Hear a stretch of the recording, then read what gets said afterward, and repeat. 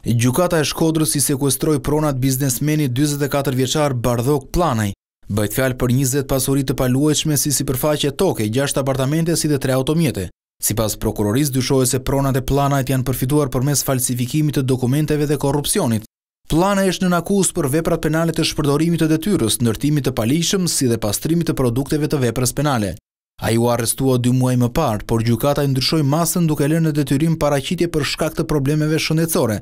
Emri i Pllanajt u përmend për herë të parë në vitin dy mijë e katërmbëdhjetë gjatë operacionit Laguna e Vilunit, ku u sekuestruan gati një ton hashash. Në atë kohë, Pllanaj arriti t'i shmangej kapjes, ndërsa opozita tha se ai u fsheh në makinën e Mark Frrokut.